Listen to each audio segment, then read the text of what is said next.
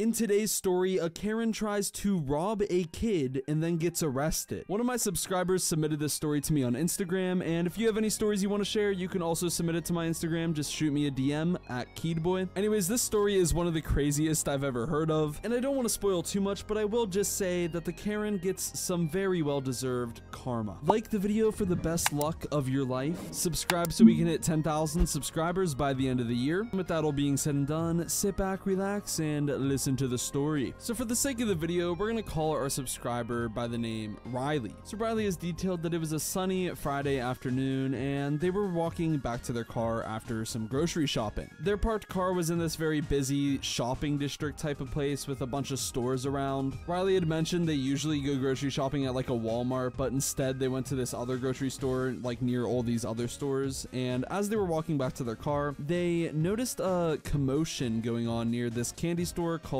Sweet Delights. Now the name of this store isn't actually Sweet Delights, but that's just what we're gonna call it for the sake of this video because we don't want people to know where this person is and stuff like that. Anyway, Sweet Delights was known for its colorful displays of candy jars in the window. I mean, they had everything from like lollipops to the world's largest gummies to like Japanese Kit Kats and all the crazy candies and stuff. It was like one of those candy stores that just had everything. And this store was more made for kids, but I mean, anyone likes candy, right? But still, like a candy store is pretty child friendly and a lot of the candy is geared towards kids. So whenever Riley uh, approached the store and saw a middle-aged woman standing over a young boy who looked to be around like eight years old, they were pretty concerned. They saw this boy clutching at a bag of candy and this middle-aged woman was trying to take the candy away from the kid. The poor boy looked heartbroken and kept crying out that the candy was theirs and that they had paid for it with their own pocket money. And it was obvious that this lady was trying to steal the candy from the boy. And this lady was just sitting there screaming at this kid, saying that he was too young for all this sugar, saying that this kid couldn't have the candy that he just bought, and she was like literally trying to steal it from him. Now, if I saw this, I would perhaps think that it was like his mom or something like that, but that just wasn't the case. This was not his mom trying to take candy away from him. This was a random middle aged woman just trying to steal some random eight year old kid's candy. And our subscriber Riley noticed that um, as Karen, you know, kept trying to take this candy, she was becoming increasingly aggressive and wasn't going to back down without a fight. All right, she wanted this candy and she was going to get the candy. So as this is escalating, Riley has finally decided, you know what, maybe it's time to intervene, maybe it's time to do something. And just as they step up and start to approach the Karen, two police officers arrived on the scene. Riley had seen these police officers earlier in the area driving around, and it just so happened that they were at the right place in the right time and they heard the commotion happening and stepped in just as Riley was about to. The officers quickly assessed the situation and asked Karen to explain what was going on and why she was trying to steal candy from this child. Well, Karen tried to explain her side of the story, but it was clear that she had absolutely no valid reason for trying to take candy away from a little kid. I just gotta say, I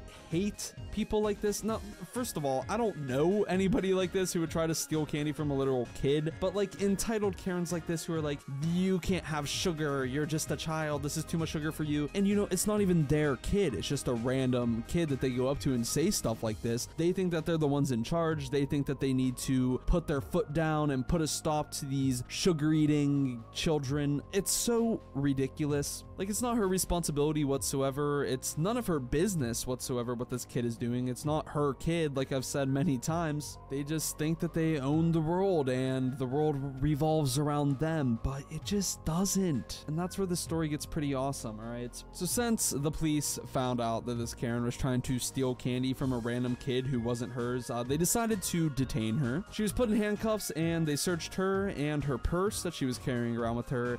And, um, in her purse, they found some things. You see, the nearby stores of this uh, little outlet mall near where this grocery store and the candy store were, a few of the stores had reported earlier that day that they had a few things stolen from some of the stores. And wouldn't you know it, this Karen just so happened to be the person who probably stole most of the stuff. They found a coin purse that was from one of the stores near her, uh, a pair of high-end shoes, a few clothes, articles of clothing, just like little things, and it was exactly what these stores were missing, so they knew that she stole it from there. Anyways, that's like what Riley heard from the police officers. Obviously, details are going to be a little vague. They don't know the actual details. Thing is, though, this Karen actually ended up stealing from stores right near where she was trying to steal candy from a kid. So yeah, the officers read Karen her rights and placed her under arrest for theft right in front of this boy, right in front of Riley. Like, it's just such an awesome case of instant karma. She is stealing candy from a kid, and then police come over and figure out that she wasn't only stealing from a kid, but also stealing from stores, and she gets arrested. Honestly, she should have been arrested anyways, even if she didn't steal stuff, but the fact that she's actually gonna like get in some real serious trouble over this, pretty epic. And obviously, this kid was super happy to have their candy back. They were thanking the police officer, they were all smiling stuff, and they couldn't stop thanking the officers for their help. Um, the officers gave the boy, you know, one of those little police badge stickers and told them that they were a brave young person for standing up for themselves.